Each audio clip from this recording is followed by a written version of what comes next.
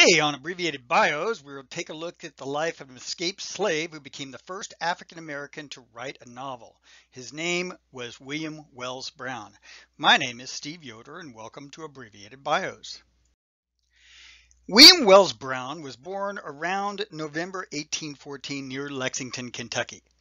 Slave owners did not keep track of when slaves were born, so most slaves had no idea what their actual birthday was. His father was reputed to be James Higgins, his slave owner's cousin. His mother's name was Elizabeth. This illustrates how most slave owners treated their mulatto offspring as just another slave. William was bought and sold many times throughout his life. He at times worked for a state legislator from Missouri, a gambler, a steamboat owner, and a hotel owner. One of his slave owners was a Dr. Young who hired Brown out for a year to Mr. Walker, a Negro speculator. While working for Mr. Walker, Brown had to help out with the buying and selling of slaves. That meant he would clean up the slaves, he would cover up their whip marks, he would tell them exactly what they had to say, and uh, then they would be ready for sale.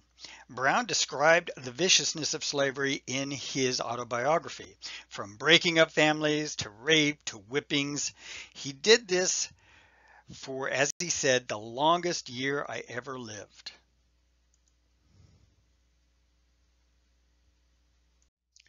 Once, while working for Mr. Walker, William filled some wine glasses too full.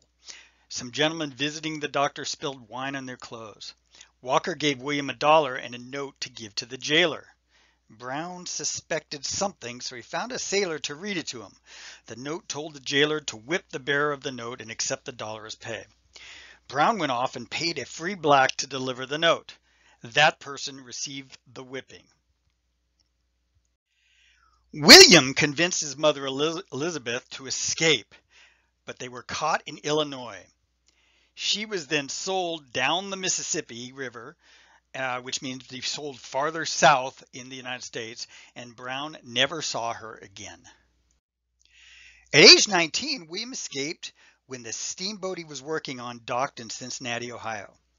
After days freezing and without food, he was helped by a Quaker who provided him with food, shelter, and clothing. The Quaker's name was Wells Brown. William took his name in honor of him and thus became William Wells Brown. After his escape, Brown began working for Elijah P. Lovejoy, the famous abolitionist.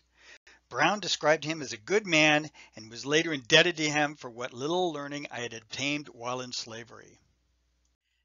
In 1834, William married a free black named Elizabeth Schooner. They would have two daughters together, Clarissa and Josephine.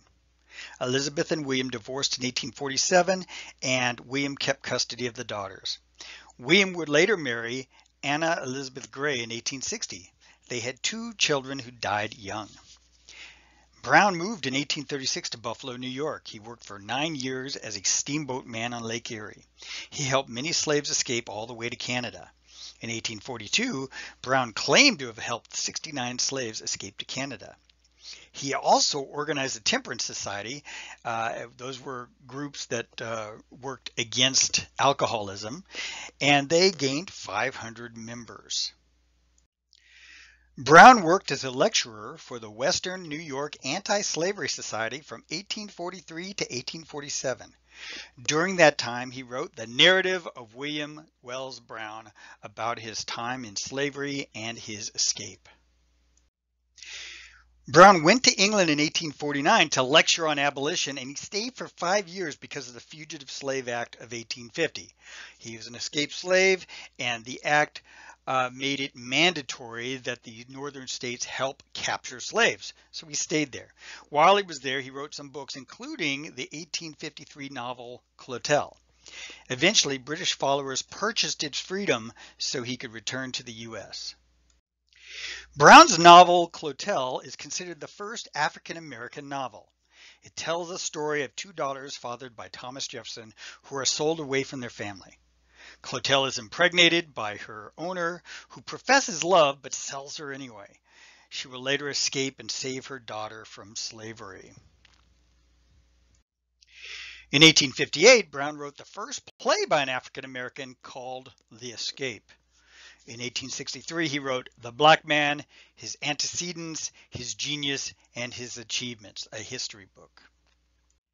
In 1867, Brown wrote The Negro in the American Rebellion, His Heroism and His Fidelity. This was a history of blacks in the Civil War. In 1874, he wrote The Rising Sun or The Antecedents and the Advancement of the Colored Race. So he goes all the way back uh, from the Ethiopians immigrating to Carthage all the way up to uh, the slave power rising in the United States. In his later years, Brown worked as a physician. Back then, all you had to do was say you were a doctor and you were a doctor. He wrote his final book, My Southern Home, in 1880. William Wells Brown died on November 6, 1884 of a tumor of the bladder in Chelsea, Massachusetts. Brown should be remembered for greatly advancing African American literature in the United States. You may have noticed a lot of generic pictures in this presentation. That's because there are just very, very few pictures of African Americans during the 1800s. Uh, it was lucky that Williams Wells Brown was pretty famous, so we have a couple of drawings of him, but we don't have any photographs. We definitely don't have any photographs of his family. Uh, but I tried to do the best I could to help you understand what his life was like. Thank you for listening and watching Abbreviated Bios.